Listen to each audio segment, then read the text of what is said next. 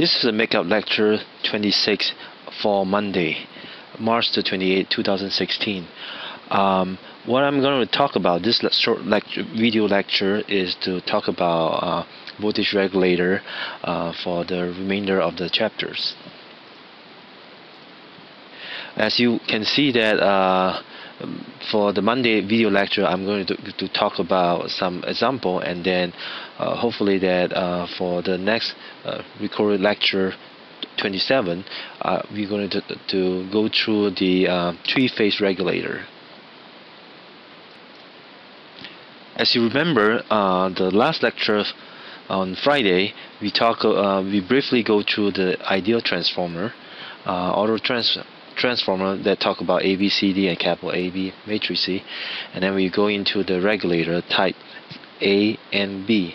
And type A is what we refer as a reverse RL model, and the type B is the uh, is the L model.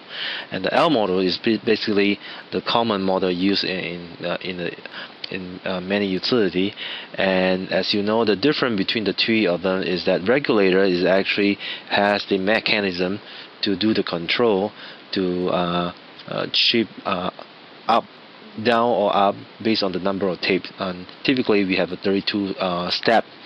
Uh, so the tape will be 16 up or 16 down uh, in, in total.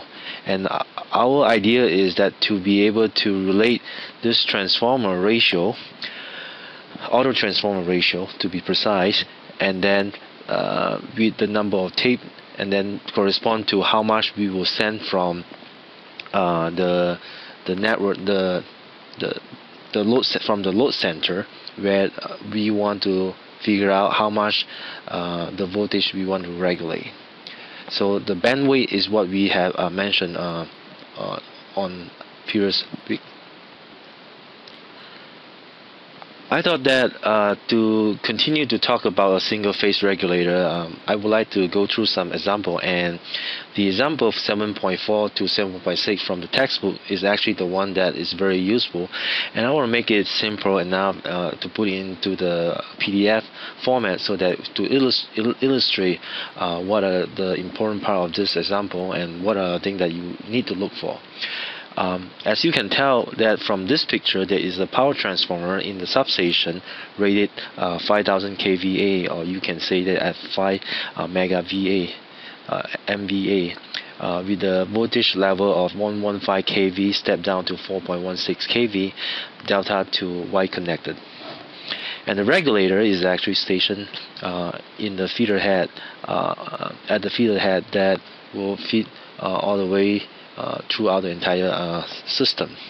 So what the rule of this regulator is to figure out what this load center would like uh, would be, and the distance between the regulator uh, from the, uh, the other terminal here uh, to the regulating point here which we call it as load center uh, that's the distance between here and here indicated in ohms information so it's 0.3 plus j 0.9 ohm so the very, very first question uh, for the example is to, to, determine the potential transformer and the current transformer rating for the compensator uh, circuit. As you may recall from uh, my last lecture, there is a mechanism that actually uh, will determine how much the voltage will regulate at the load center. Um, so let's see uh, if you can uh, find this out. So this is what we have last time. Um, if I remember uh, correctly, um, there is a picture. So the um, compensator circuit here is actually the one to determine how much the distance will be. Uh, right, this is R line plus J X line is actually the distance between the the other the terminal of the regulator to the load center. And then the CT which is the uh, current transformer primary and then the number of transformer PT here. So to come back to the example here um, this is uh, um, the um, example here uh, so to uh, to determine P- PT and CT rating, in this case you have to have a compensator. So in this case, the VS, which is the PT, simply will be the uh, the the secondary side of the power transformer because it's actually on the secondary side. So it will be 4.16 kV divided by square root 3 to convert into a line to neutral, which give you approximately 2.4 kV. This is indicated as a PT rating. Whereas for the um, other rating, uh, which is the um, as you can tell that this is a CT rating. Before we actually get to the CT rating, we have to actually determine the number of uh, potential uh, transform turns. So uh, by having the 2.4, in fact, this is uh, actually is not 2.4 but 2.4k. Um,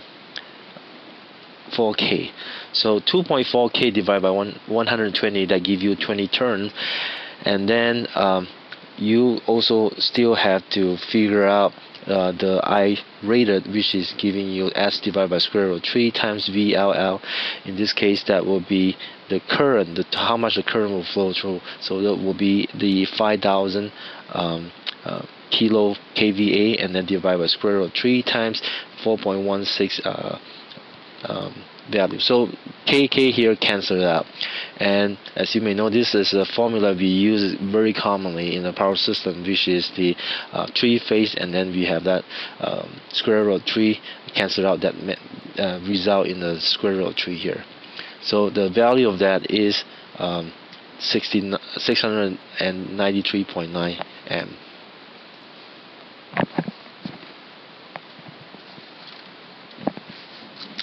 So the um, this indicate the number of turn for potential transform which is up to 20 and then uh, so this information is sort of grouped in one place whereas the next question will be the CT rating. So in order to get the CT rating we as I mentioned you have to calculate the the rated value of current which is almost close to the 700 amps so in this case we are actually picking uh, 700 amps which is a higher ceiling.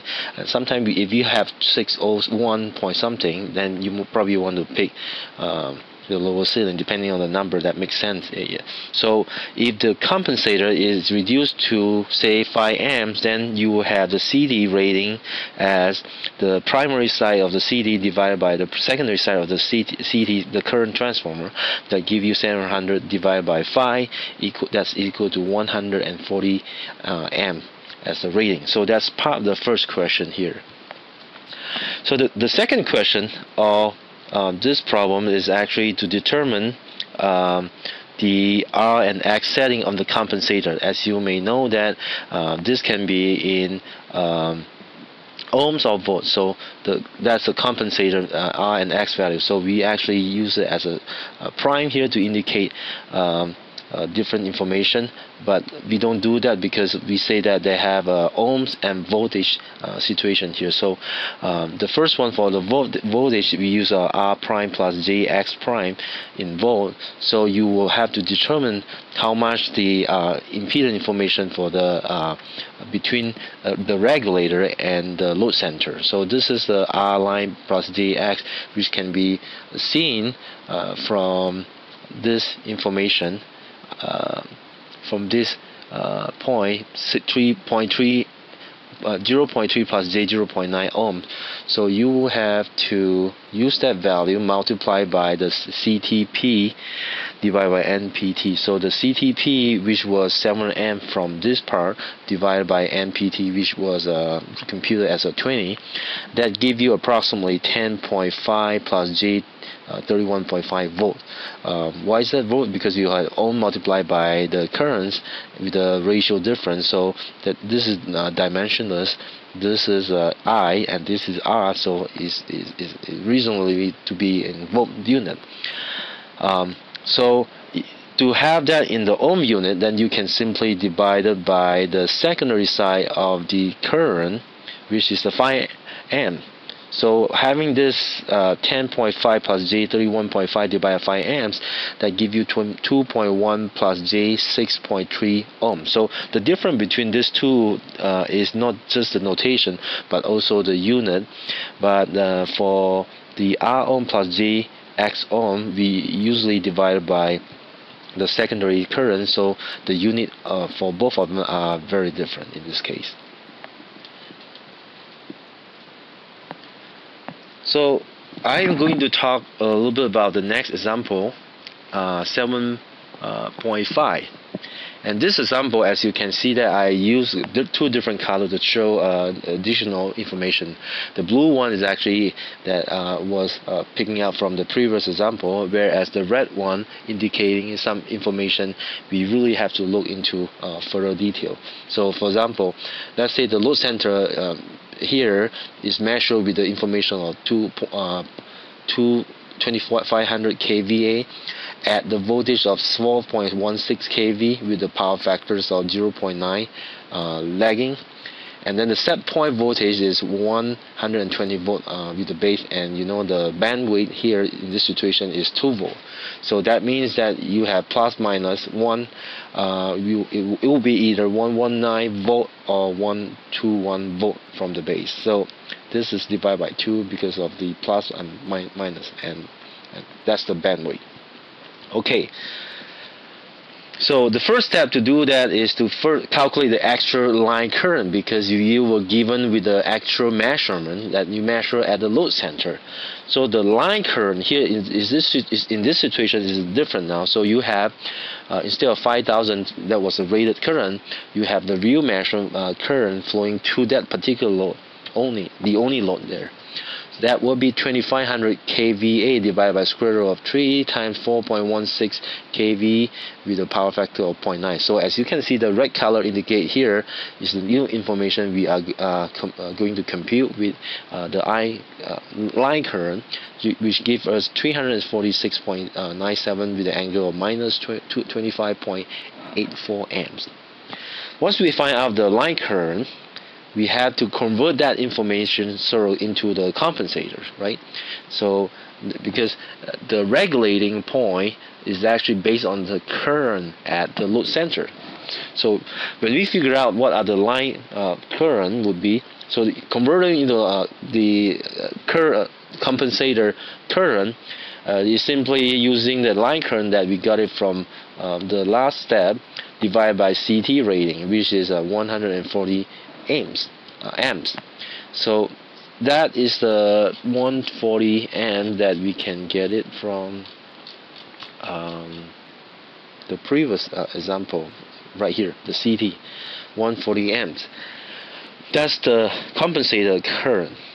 So with, with that information uh, included the compensator uh, current can be uh, computed uh, by divided by 140 amp that give you 2.478 with an angle of minus 25.84 amps.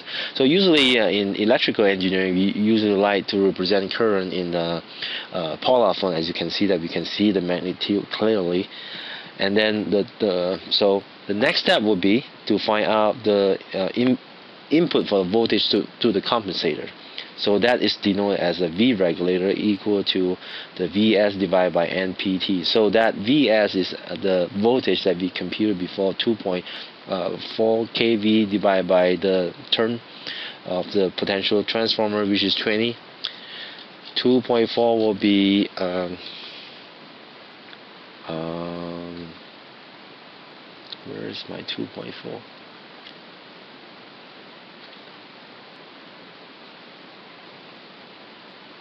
2.4 kVA is the voltage and then uh, the NPT is the 20 so that gives you 120.1 uh, with a 0 degree. Um, so once we get that uh, input voltage then the step 3 will be to find out the voltage drop in compensator.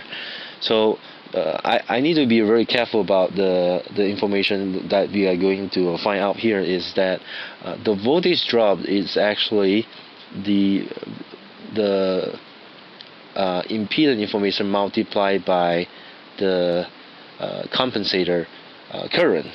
So the this impedance 2.1 plus Z 6.3 is actually the one we found before. Let's see, 2.1. Right. This is the um, uh, the R and X setting in ohms unit, not in voltage unit. So remember that we talked about that before that there's one uh, compensator setting uh, uh, and they both are very different. So I'm going to use this uh, this time to clarify as uh, is A and B. So I'm referring to this 2.1 plus J 6.3 so that's here you go. And this is the current that we just uh, computed from this section uh, step 2 and that give you the voltage drop of 16.458 with the angle of 45.7 degree uh, volt.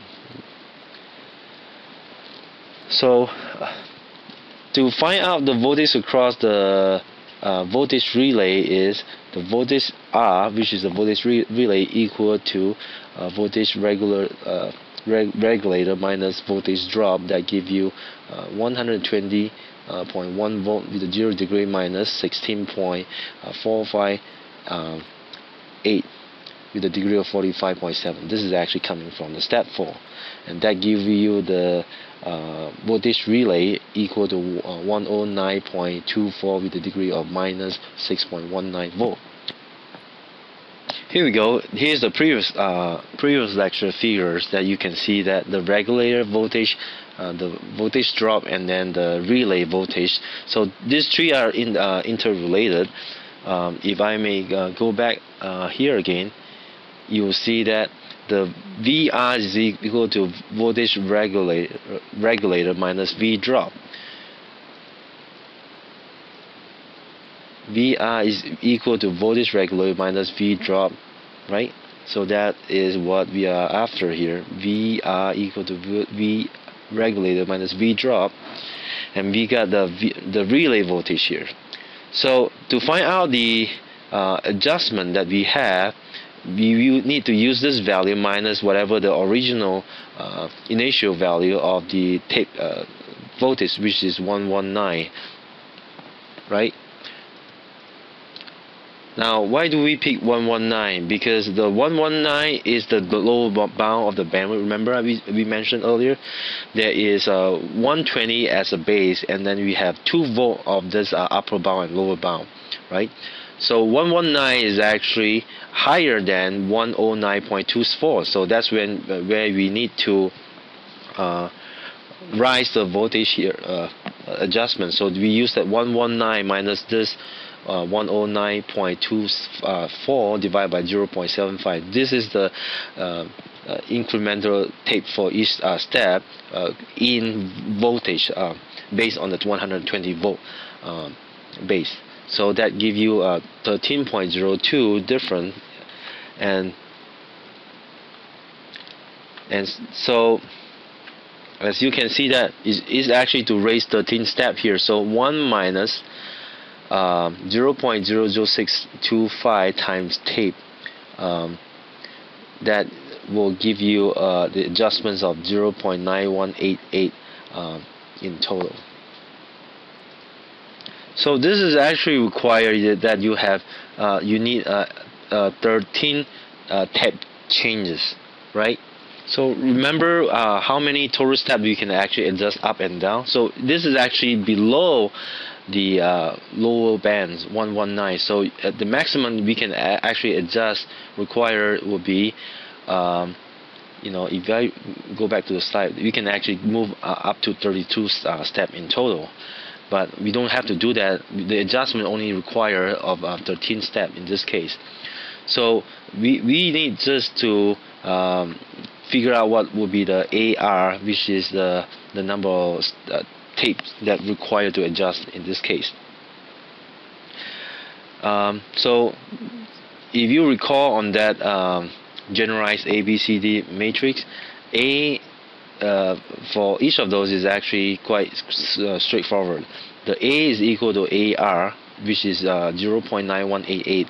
B and C, there's no uh, admittance and impedance. We just simply find, uh, find this because it's, uh, uh, it's very small value. And then the D is actually the inverse of A, which is 1 over 0.9188. That gives you 1.0884 in total. So um, as you can see that to put it into the um, generalized ABC matrix, we have to actually go into uh, to figure out uh, at least this four step to find out uh, how what are the uh, tape changes required. And you know in order to do that there are a lot of information we need to know. For example how much the load will be what will be the set point of voltage uh, what will be the bandwidth. In this situation is 2 volt to be set for the bandwidth. And then etc and then followed by this fourth step you actually will get to find out the AR so so this is a, a pretty um, uh, straightforward calculation. Um, they come up to the example of uh, 7.6 things are getting a little bit interesting. So um, I think what uh, the 7.6 they are trying to uh, uh ask to calculate the actual line to ground um, voltage and line current. So the actual line to ground is uh, how much would that be at this point? Uh, so uh, if you have this information already in place how are we going to figure out the, the regulator between this side and that side right? So to determine the VRL which is uh, the L side then you will have to use a VS over A equal to 2.4 K over 0.9188. So the A is this number, but why is it we are dividing by A? So as you can see from this general uh, matrix, um, the A itself, you can see, argue that is actually A times VL, but we are looking for VL given that we know VS and IS, which is from the transformer side. So that's the reason that what we have to divide by uh, the A value that give you uh, approximately 2614.2 vo uh, volt. And then the current is actually inverse of the D uh, as well. So that will uh, just simply give you the 1 point uh, divided by 1.0884 that give you 318.77 with the angle of 25.84 amps for the current. So actually we are moving this side to the other side in order to compute VL and VIL now this is not done yet because uh, basically this question asking is not this point how much the voltage would be but this point of how much the voltage would be right? So uh, based on the basic circuit you learned before to in order to calculate the current at this point from the source source you need to uh, sort of minus whatever the information and current flowing through this uh, uh, distance, right? So that means um, the VLC, the load center voltage, will be equal to VL. Um, here is the VL minus the current current VL flowing through it with the um, uh, multiplied by with the impedance information. So the VL information is actually uh, from the right hand side of the regulator. So that give you approximately, um, if you do this map correctly by uh, key, uh, keying into the calculator, you should get 2.412 uh, with the angle minus 5.15 K. Um, don't forget about the K KV, all in a 120 volt base you can actually divide by uh, the 20 which is uh, the NPT ratio. So and that is a VLC with a 120 degree uh, that the, the, the based on that base uh, we should give you 120.6 uh, with the angle of minus 5.15 volt. So lastly, this uh, R line ohm plus Z X ohm, it, it can also be simply calculated based on uh, the value you uh, measure on both sides, which is the regular output voltage minus V uh, LC, the load center voltage, if you can measure the both, and then divide by the the current uh, between the two uh, point, that will be the R line uh, ohm plus D X line ohm in total. So you can actually go and see the table 7.3 on page uh, 208 uh, if you want to look uh, the relationship of uh, tap voltage reference correspond to each of them you can see uh, what would be the value of um, uh, the the voltage on the 120 volt base. Hope this helped